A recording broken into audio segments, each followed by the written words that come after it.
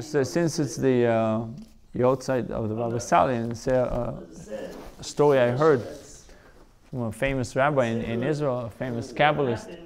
His name is uh, Rabbi Benayahu Shmueli, very famous uh, Kabbalist. Is a yeshiva, teaches uh, Kabbalah.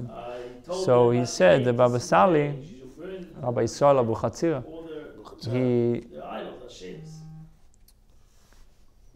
his grandfather was a very famous uh, tzaddik, Rabbi Yaakov Abu Chatzira.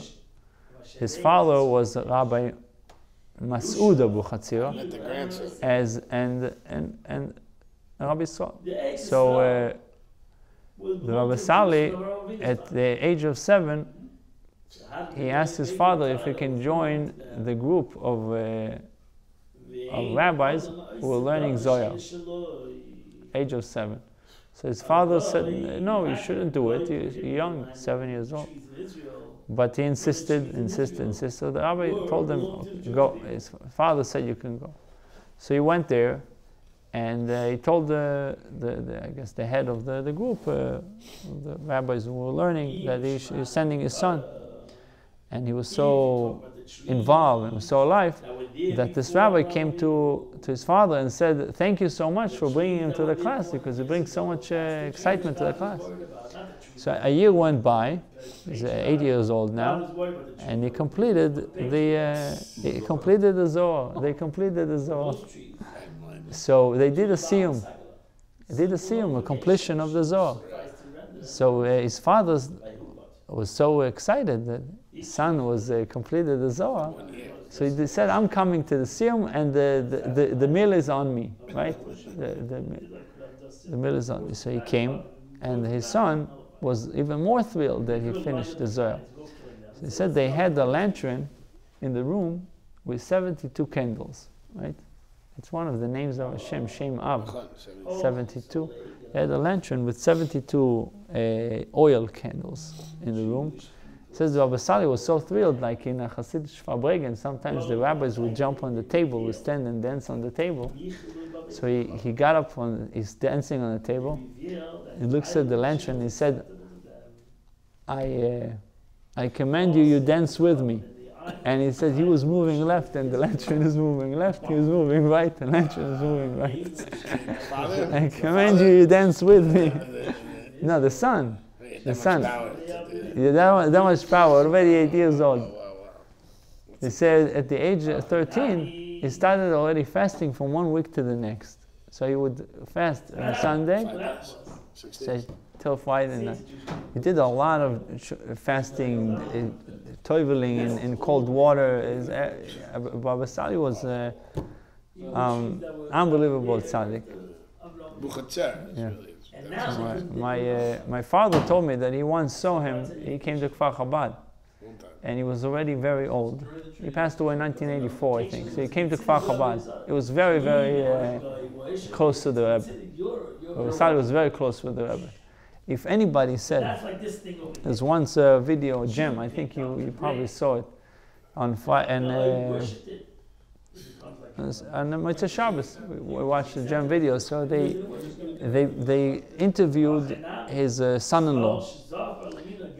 There was some oh, a head of yeshiva somewhere in uh, in Israel They told him he wants to speak. He went to the son-in-law. He said to arrange a meeting with the Baba Sali. He wants to. So he went to the meeting, he brought him, and he was, as he was speaking to the Baba Sali, he made comment insinuating that the Chazon Ish, the Chatam Sofer, the Vilna Gaon, they were insinuating that the Baal Shem Tov was not there, and they he created a, like he, he did it in a smart way, but he is speaking to the Baba Sali. So Sali literally threw him out of the room told him to get out. And then he called his son, his son-in-law. He told him, "Why did you bring this guy? Any idea we spoke against the Baal Shem And uh, so he, Rabbi Sali asked, what, what is he doing? What is this guy doing? He said he has a kollel.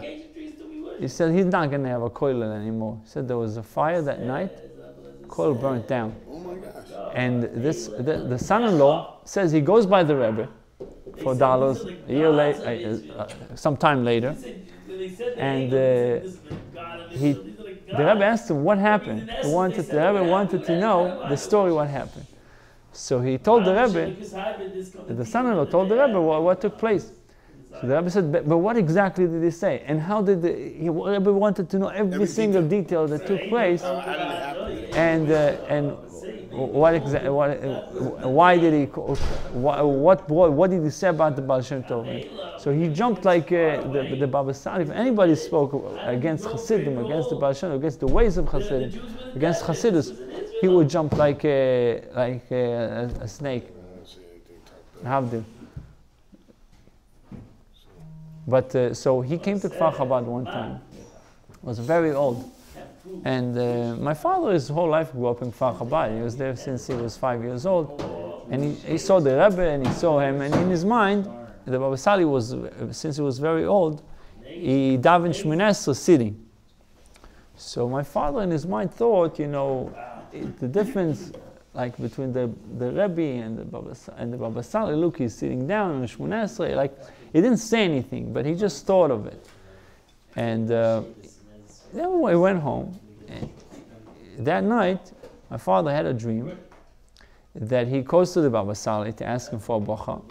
And he, and he takes my sister, and he does, she doesn't give him, and the Baba Sali doesn't give him a bracha. So he, he tries again and tries again. He doesn't give he doesn't want to give him a bracha in his dream. So uh, my father, uh, next day, he gets a letter uh, that he has to go to the army, the reserve. He has to go some five weeks. Uh, used to go for 30 years. Every year he would go for uh, five weeks, uh, sometimes to Jenin, hostile areas. They would go. I remember throughout my childhood, my father was always like five, five weeks out of the year, he would, he would go to the army. So he got this letter. He says, with a dream like this, I'm not going to the, uh, I'm, I'm not going to go to the army. I, I, can't go like this, but on the, he has to go. It's the government calls you, you got to go. So he decided he's going to uh, to Netivot, to where the Baba Sali lives, and he's trying to clarify. He's trying to find out what exactly, what should he do, and to ask forgiveness. Right? So uh, he's when he gets there, he sees a line, a line of people. He says, ah, "I'm never going to be able to." Uh, so he, father started going back and forth, doesn't know what to do with himself. He goes back and forth, back and forth, back and forth. Suddenly somebody comes outside, he tells him, uh, tells him, uh, you have a car? So my father said, yeah, I have a car. So he said, today, he said, said the guy says, I'm the gabbai of the of Baba Sali. He said, today it's Rosh Chodesh. And Baba Sali has a custom to say Shehecheyanu on a new food. It's a halacha, it's a minhag to say Shehecheyanu. If you can do it, you go to a store, you find a food that you didn't eat in that season. You didn't eat in that season, and you can say shehecheyanu on the food. You said the bracha and say shehecheyanu. So he said, "Can you take me?"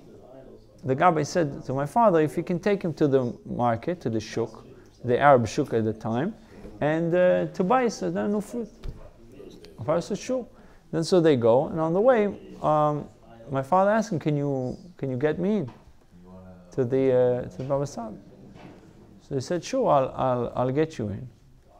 And he's asking, why do you want to go? He said, I don't know, I have this dream. He doesn't want to, doesn't want to give me a bracha. So he, they go in with the Gabbai. The Gabbai brings him inside. And uh, he said, Baba Sali is sitting there, and he, he didn't see, he didn't, he didn't see my father. He just says to him, he, he goes, is it true? He says to him, is it true that you didn't want to bless him? That's all, that's all he said. Is it true you didn't want to bless him? So he said, it, "Don't worry, it's it's it's it's it's forgiven. It's forgiven." He like he knew everything was clear to him. He said, "It's forgiven. Don't worry." So he said, "I'm giving you a bracha that you'll have twins." So he told my father. And a year later, I was born, and then my brother was born, and my whole life, people ask me, "Are you twins? Are you twins? Are you twins?" They look alike, and people always ask me if we are twins. So uh, that was uh, a direct uh, thing that happened to my father. related this story to me. and then he was comfortable going back to the army, doing his thing. Whatever was going on, it was something going on. Very cool, very cool. You know, yeah. So it says, his marriage should protect us, the merit of a tzaddik. A tzaddik has a lot of credit, and he can use this credit to to uh, give us Yeshua, to give us salvation in anything that uh, particularly we need. Just getting out of high school. L'chaim, l'chaim. Very, very good.